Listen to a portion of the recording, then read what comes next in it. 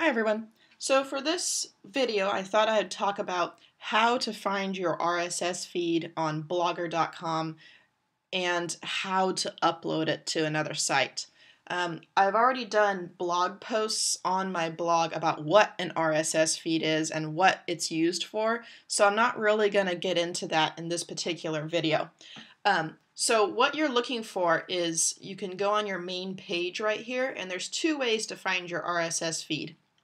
You can go down, if you have this subscribe to widget, you can use that. You click on posts and you look for the Atom feed, that's what you're looking for. Or as a default on every blog, blog or blogger blog, say that three times fast, is you're going down here and see it says subscribe to and you're clicking on the posts, the Atom feed posts. So when you click on this, it takes you to this site right here. This is called FeedBurner.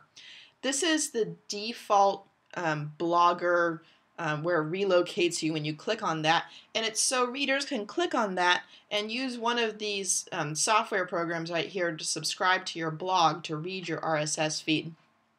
Um, as a reader, this is extremely useful. As a writer, I find this very frustrating because it makes it very difficult to find your RSS feed the first time. So this right here is not your RSS feed. This is just an extra site to help you read things. What you want to do is you have to get rid of this in order to access your RSS feed. So I'll show you how to do that. So what you do is you go to oops, your blog right here. And then you have this the blogging dashboard. And you go to settings. So here I am in settings for non-techie blogging. And then you have to go to other.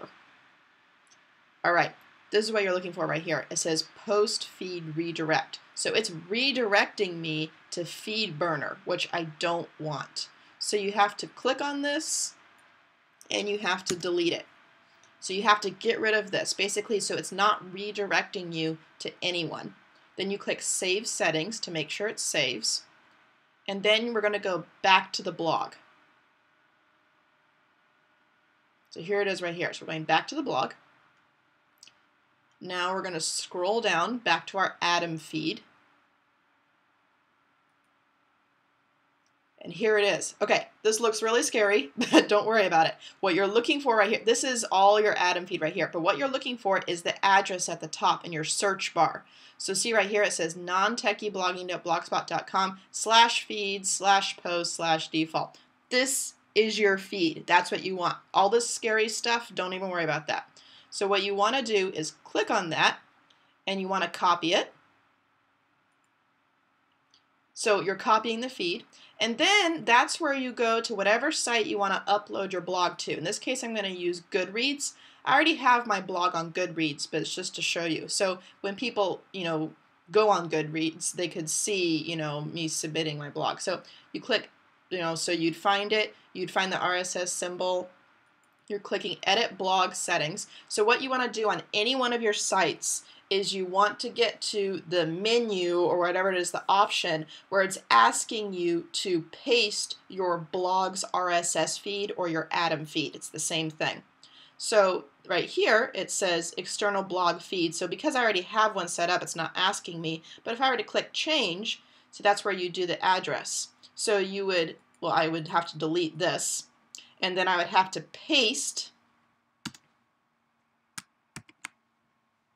the new feed. So now it's looking, so if I wanted to, it would redirect or send non-techie blogging posts. I don't want this on you know this particular site, but that's how you do it. So all you're doing is looking for that address up there.